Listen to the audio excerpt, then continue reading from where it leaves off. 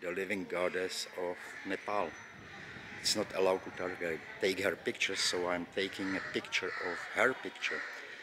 Actually, uh, it's not completely true. It's not allowed to take her picture inside her little palace only when she is somewhere outside. But if she gets out of the palace, her little palace, she's of course fair game, you can take her pictures. But the problem is she is rarely, rarely outside, only if she participates in some religious festi festival and there is not many of them.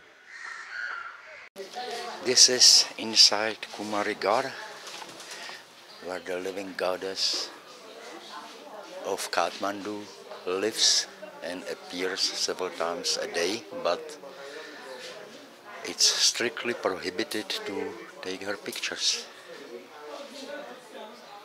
And she is actually a royal Kumari, living goddess, uh, the royal one, the highest in Nepal, and she is uh, not very well known outside of Nepal, but it's very revered in Nepal. In the past, kings and in present, prime ministers and politicians come for her. Um, I probably shouldn't say blessing, but seeking her um, influence on their life. No entrance for foreigners. Taking photographs of Kumari is strictly prohibited. No TikTok. Kumari, which literally translates to virgin, is uh, a girl that's picked up about the age of three or so and stays usually until shortly before she gets her first period. Then she is replaced with a new one. And in 2017 there was a new Kumari, three years old, and I just learned from the guy here that she was replaced during pandemic. And the reason was that she fell and broke her skin and was bleeding, and uh, that's not acceptable. They always carry her in some, I don't know, chariot or whatever the proper word is, some contraption, because she's a goddess, cannot touch the ground. And this is Kumari teacher, because she gets education nowadays until about 10-20 years ago. The girls got no education and there was a huge outcry against that because the girl gets out at what 13 years old and cannot read write has no education whatsoever. So nowadays all the kumaris retired kumaris will get some small pension like uh, a hundred dollars a month for the rest of their lives which is not much but at least something and they get education so when they come back to the civil life, they can go to school and uh, pursue whatever uh, they can. Beautiful wood carvings here. Really intricate work.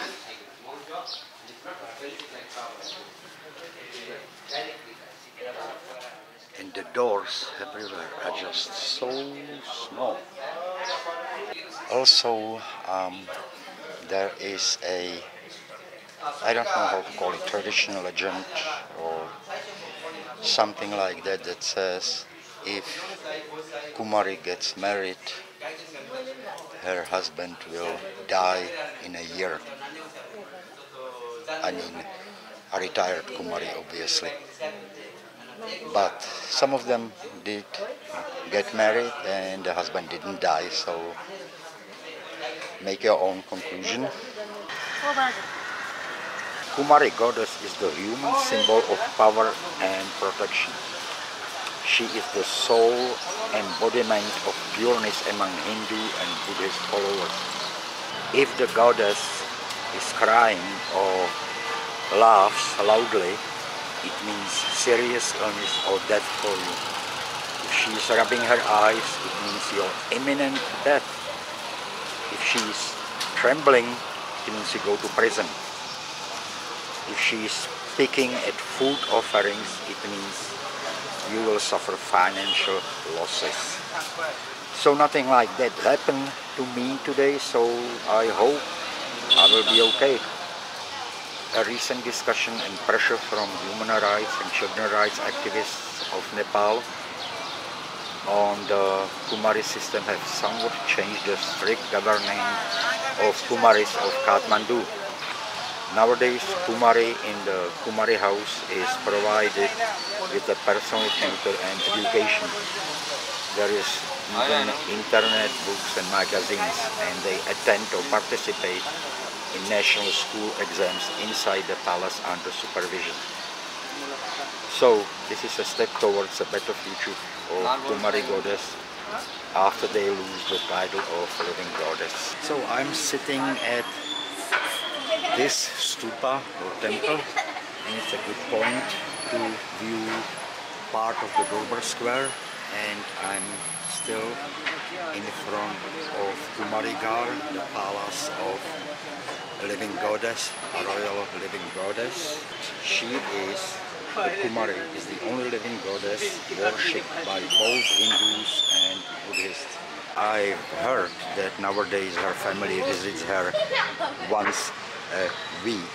The Prime Minister and President touch the feet of Kumari and seek her blessing.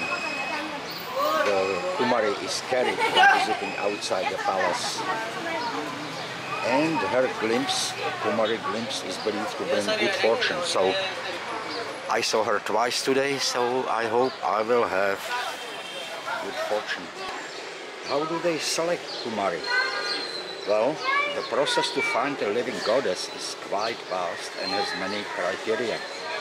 Five senior Buddhist uh, priests and royal astrologer oversee the selection ritual of Kumari. Some basic characteristics search in children are sound health, no evidence of scars and marks on the body. Once a girl passes through the basic requirements of Kumari goddess, she is then further examined for 32 body perfections to decide the future Kumari. Some of the characteristics are body like a banyan tree, eyelashes like cow, chest like a lion, voice soft and clear, the same horoscope as the king and since for about last 15 years um, the kingdom of Nepal was abolished, the horoscope must be similar or the same like the prime ministers, which is kind of interesting. But anyway, altogether it's like 32 different criteria that she must meet. The children or candidates also cannot be scared of blood and masked men. Every candidate is shown several sacrificed buffalo and masked and dancing on top of the blood. If a child shows signs of fear, she is deemed not worthy of goddess and this is one of the religious festivals during which the living goddess is carried out of Kumari Ghar, her house on the right, and she's put on top of the chariot that you see in the middle of the screen, and she's carried around. She cannot touch the ground. And on the left, that while building, it's political elite standing there, government officials seeking the blessing of the god. Anyway, I hope you enjoyed the story. Thank you for watching and goodbye.